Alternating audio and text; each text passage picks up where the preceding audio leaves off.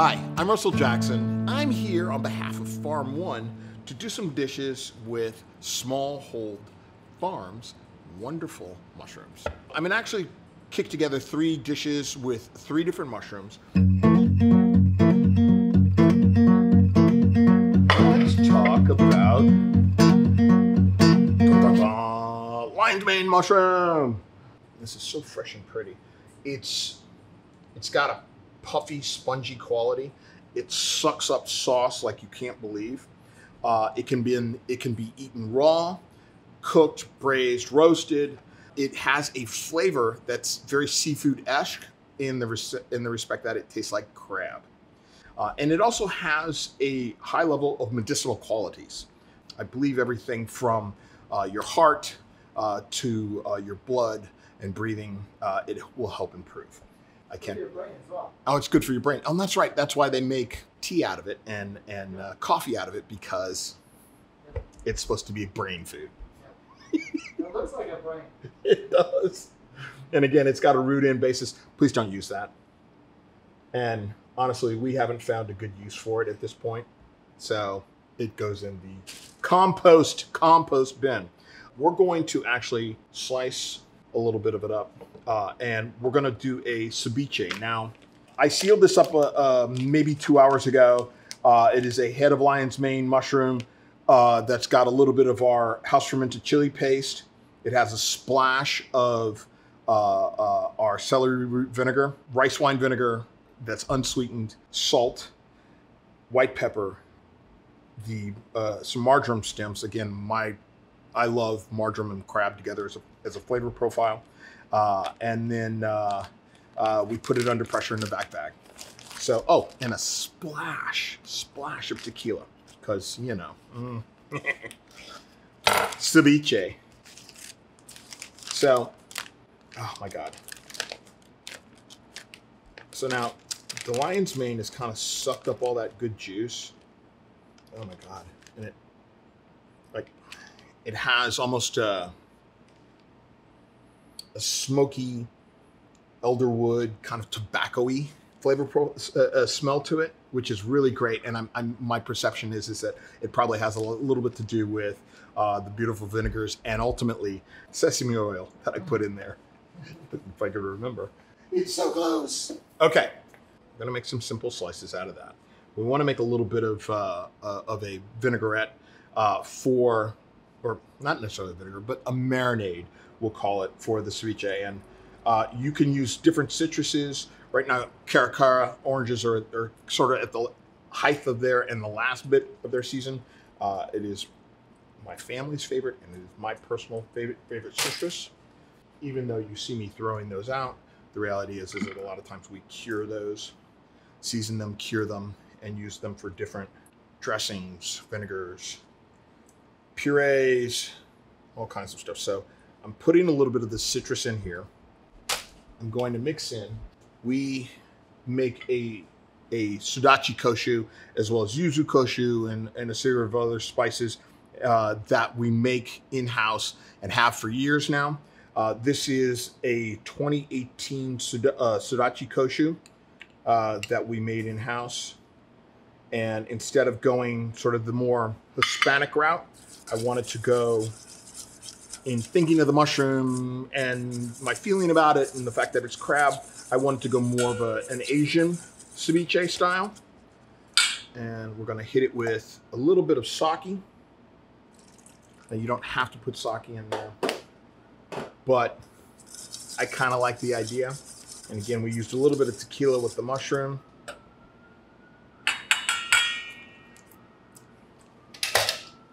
Mm. Right, acidic. We're gonna use a little bit of our Martha's Vineyard sea, sea salt. Ah. New York. Okay. Because we're staying consistent with the herb uh, profile, we're going to just put a little bit of fresh marjoram in this. And of course, when we do garnish, we will finish it with some Farm One flowers and herbs. Yeah. So we're to let this sit for a minute before we go to actually breaking down ceviche.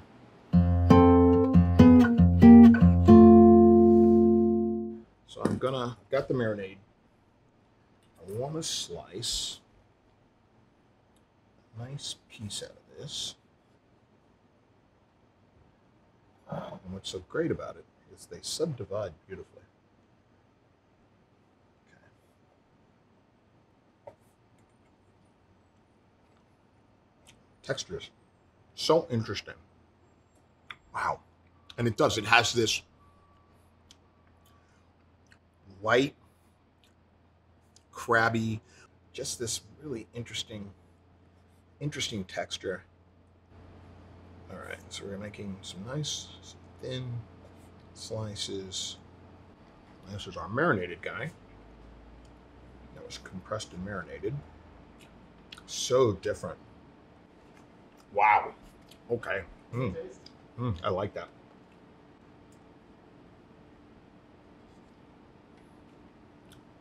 Yeah, that's like super unique.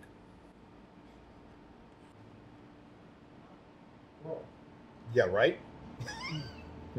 oh! I'm getting some of that. Was that sake or tequila? You put? No, Just a little splash of tequila. tequila.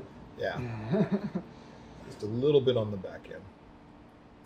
So we just want to. So we're we're doing this in sort of two similar textures. All right. Wow, that's really cool. Okay. So this is our little bit of our salsa, or Asian sudachi uh, koshu le tigre. Okay.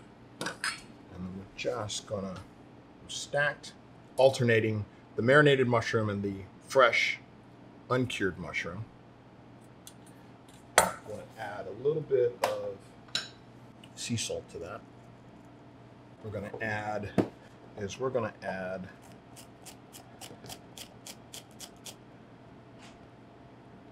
some forever back to the tweezer protocol.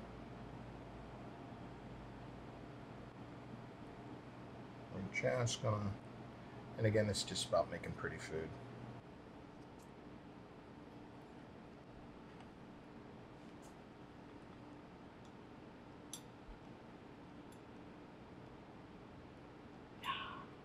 Okay.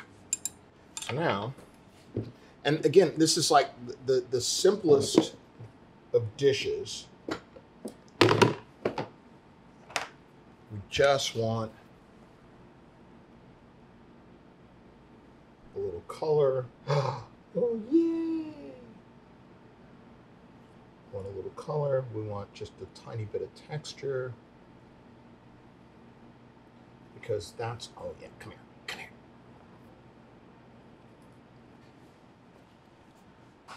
Now, see, Vietnamese coriander so works with this. Yay! Look at that. Boop, boop, boop.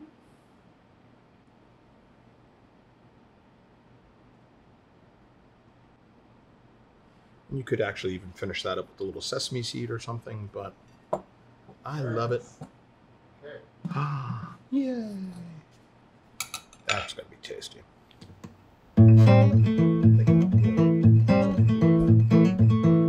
Yeah. Waste. No good house doesn't make a beautiful amuse. So this is just something that I kind of threw together with actual odds and ends from this restaurant. So, so this is a little bit of a fermented uh, cauliflower puree with brown butter uh, that we finished with a little bit of mushroom puree. Uh, this is our, uh, and I always seem to have gougere dough in my refrigerator or freezer at some place.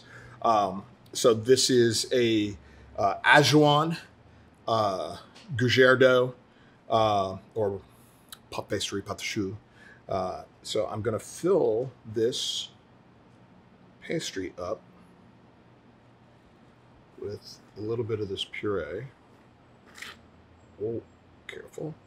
And um, earlier, I was talking about making uh, the mushroom confit, and these are actually the trumpets. These are actually the trumpet mushrooms. That we preserved. That I will actually dump a lot more mushrooms into this and pre- preserve and keep these to use over the next couple of weeks. Just a little bit of onion. We've got these beautiful mushrooms that we can just put on there. Sort of a little tart. Yum, yum, yum. The King Trumpets hold such an amazing flavor. So you can actually take that olive oil or whatever medium that you're, you're cooking them in and add in fresh herbs, dried herbs. Take a garlic head, smash that, put that in there. Shallots if you don't like garlic. Again, green garlic is in season. Go to your farmer's market and support them.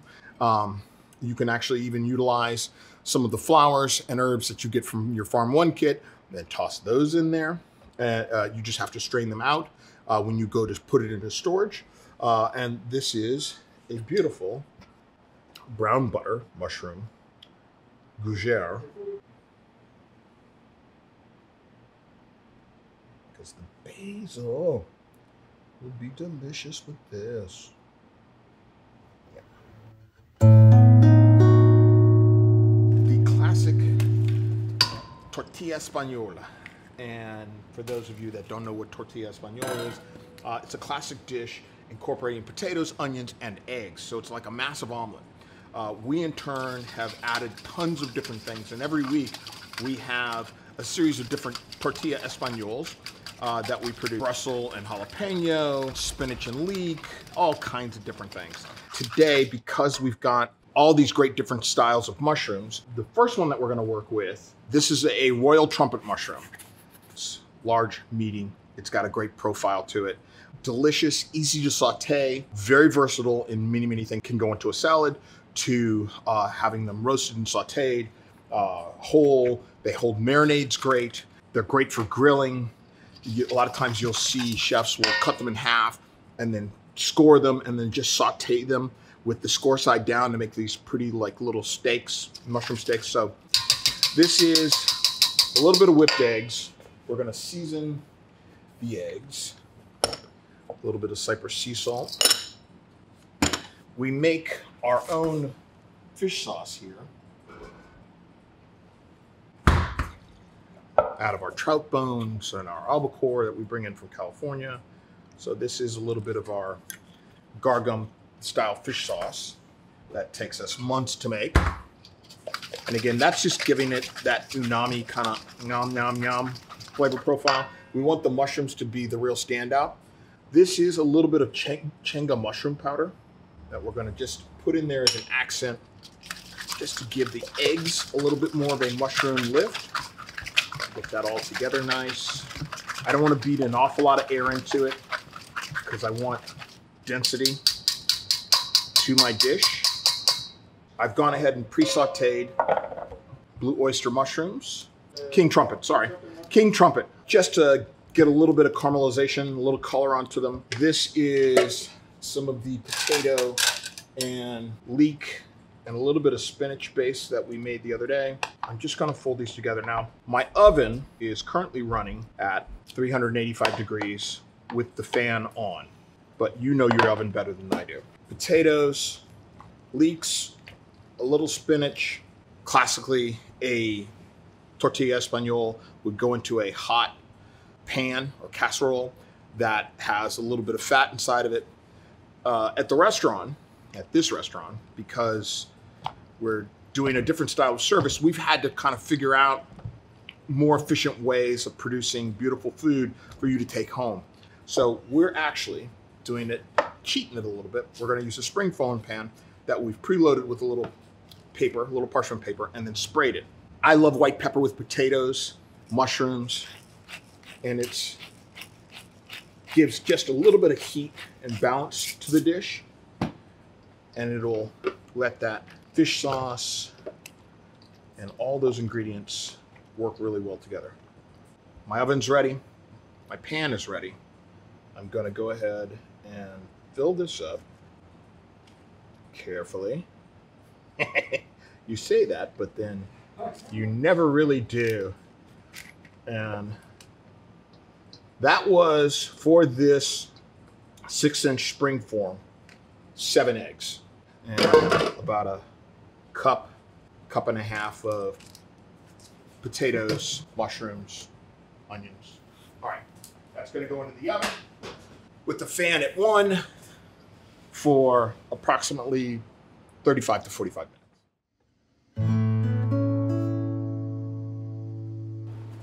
So, from the magic of television, this is our terrine, our Espanola. That little spinach, egg, mushrooms layered in there, uh, a little green garlic. Uh, very simple, very lovely. I literally eat this every week. I eat it for dinner, I eat it for lunch, I eat it for a snack. Uh, and anyone else that buys it realizes how incredibly beautiful it is, and layered, and flavorful, and healthy it is. Um, so we're ecstatic about utilizing it. And we in turn will also serve this with a little bit of fresh herb salad.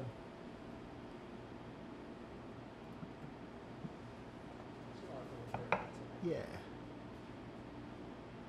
Yeah. I love that dish. It's it's part of so we did reluctantly did the whole restaurant week thing for New York, which was oh my god.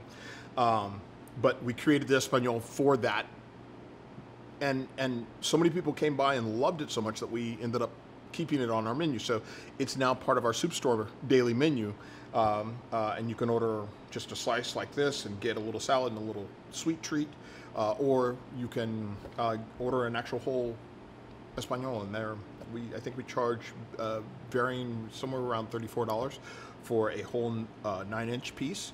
Uh, it's super thick and rich like this, and honestly, if you can eat a whole one in three seatings or four seatings, I'll be impressed. No, I mean like it's it's it's easily if I take one home, we eat off of it all week long, and cold, hot, room temperature, it's always great. Let's talk about the blue oyster mushroom. Now, this can this dish or this technique can actually be substituted with any of these dishes, uh, which is great. So you could do this dish uh, with the uh, trumpets. You could do it with the lion's mane.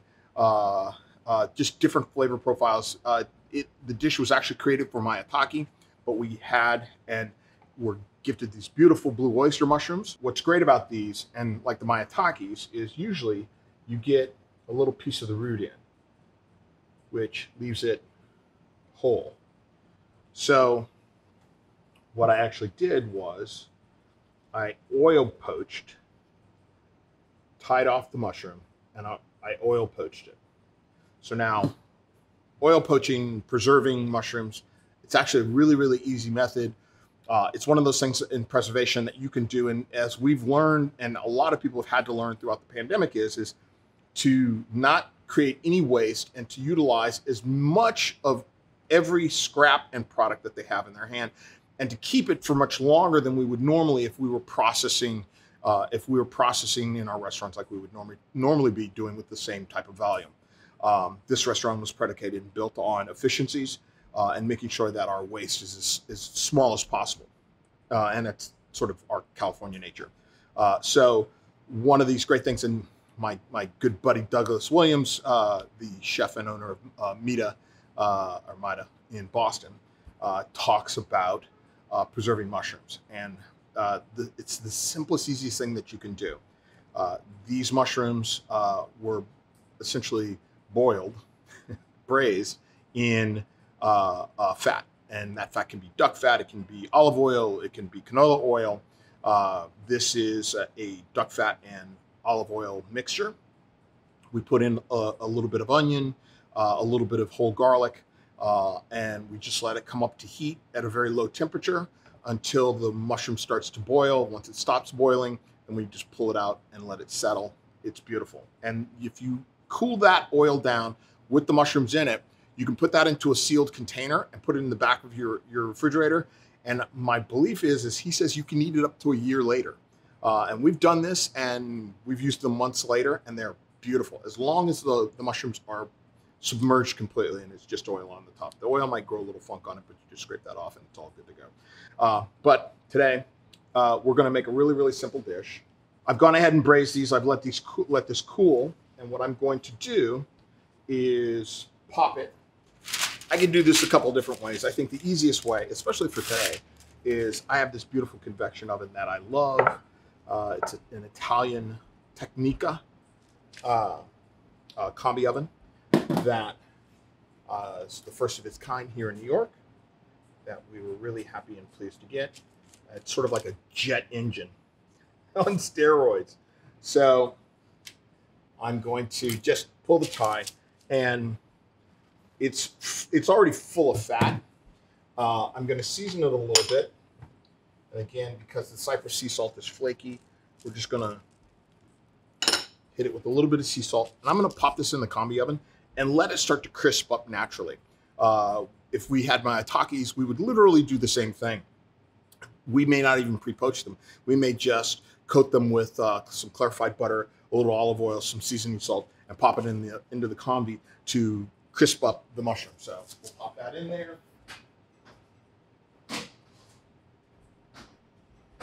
And it smells so good. What we're going to make is a little bit of tea that's going to complement that mushroom. I've gone ahead and pre-roasted potato scraps, onion scraps, and mushroom scraps together. I've got a little tea press here. I'm gonna just load my tea press with my, my burnt potato, herbs. There's, again, there's onions, there's a little garlic, there's a little green garlic in there. We want fresh mushrooms.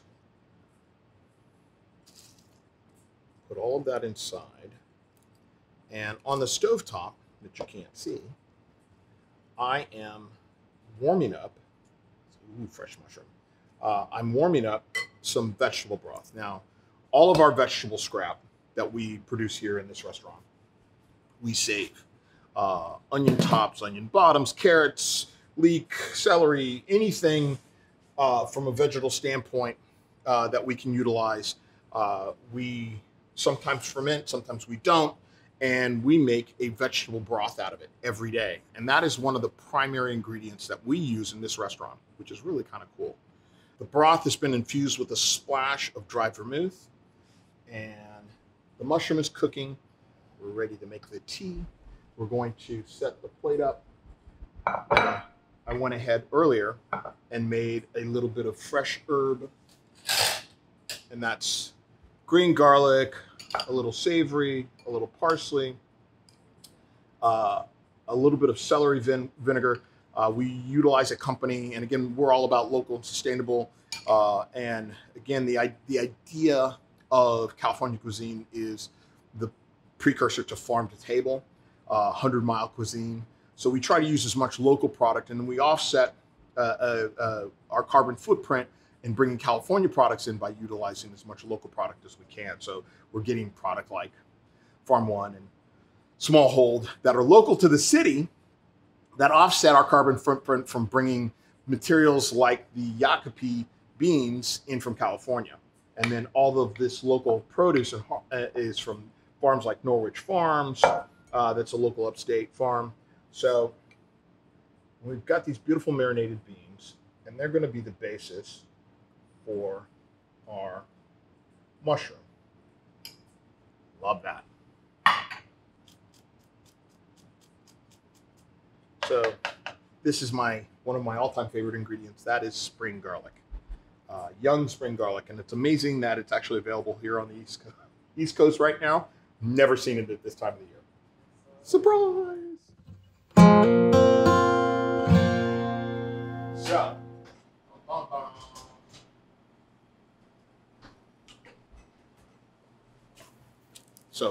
straight out of the oven. It's beautiful. It's brilliant. Yeah. Crispy edges. I'm going to pile that on there really, really nicely. Again, this is the vermouth based. Uh, this is a vermouth based vegetable stock that we're going to pour over the freshly roasted potato and mushroom to make a delicious tea. All right. So now we're just going to let that sit. And this is fun because it's one of those things that we can do on tableside that that it's beautiful. Now let's find beautiful herbs. What do we want? Yeah. So we want to put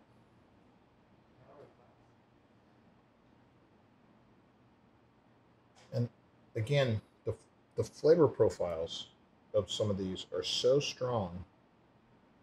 We want to just and that's the nice thing about the fact that we can put just a few of these on the plate and have such an incredible impact visually and flavor wise. All right, we want just a little green garlic ring on there. Dun, dun.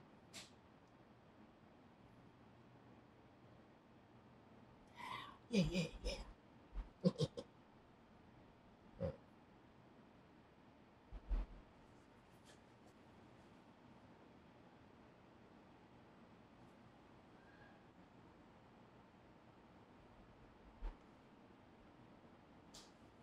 Oh, I like that. Oh, that's. Yeah, purslane. And purslane as a ingredient for this dish is absolutely flavor flavor and texture wise perfect. I love purslane. Yeah, simple, beautiful. And then you have the tea. Nicely infused.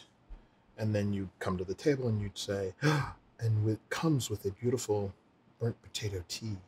We're pouring that right over top, allowing it to permeate the mushroom a little bit, and yet float the herbs and a little bit of the finishing.